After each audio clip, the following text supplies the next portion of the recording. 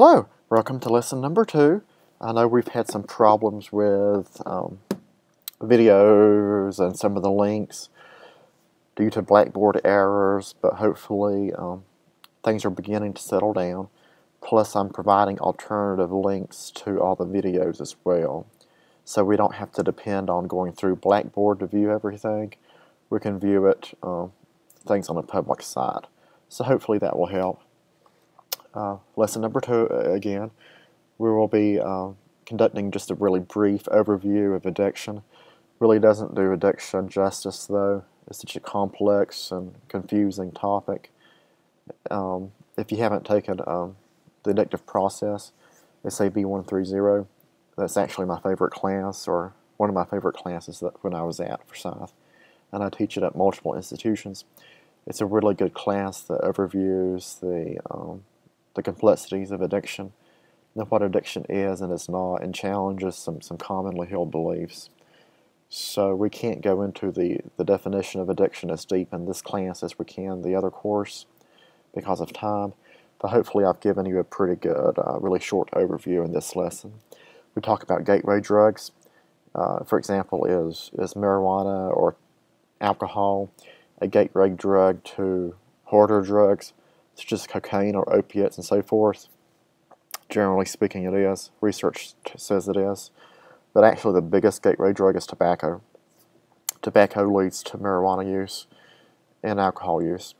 What we know, even locally within Forsyth and Stokes counties, northwest Piedmont, where students who smoke tobacco have a much higher percentage of chances of finding themselves using marijuana and other drugs than those who do not smoke tobacco. We talk about how to get clean in general in this lesson. I provide a pretty good video that's based or directed towards adults in terms of how adults get clean, but also applies to the adolescent populations as well. We, we have a great uh, activity about drugs and how the drug how drugs impact the brain and brain activity. That's actually interactive. You can click on and move the brain around and and read the descriptions. That's a really neat activity. Plus, there's a corresponding handout that's extremely detailed that, that tells us how brains impact the adolescent and develop, well, how drugs impact the developing adolescent brain.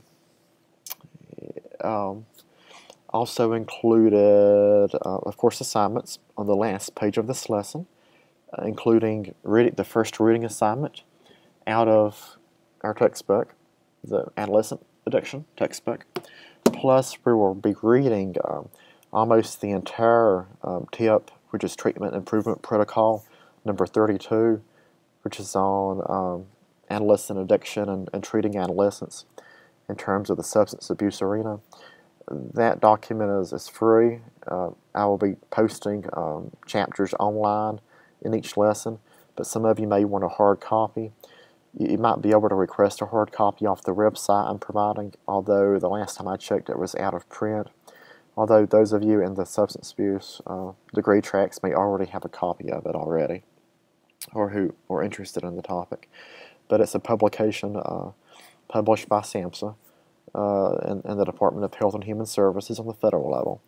That is, is like the blue book, or the gold standard of how to, what we should know about in terms of, of kids who use drugs and how we should treat them in the clinical setting.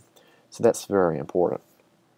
Also, I reviewed the discussion boards, of course, for this lesson and looked at, or for prior lessons, uh, remember the discussion board that was that asked you what you wanted to learn about.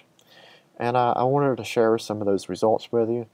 And um, these are some of the items we will be talking about uh, specifically in this class because you share some interest. Uh, some of those items included how parents can intervene in terms of helping their kids uh, resist the dangers of drugs. Um, questions related to school drug testing. Is it effective? Is it not effective?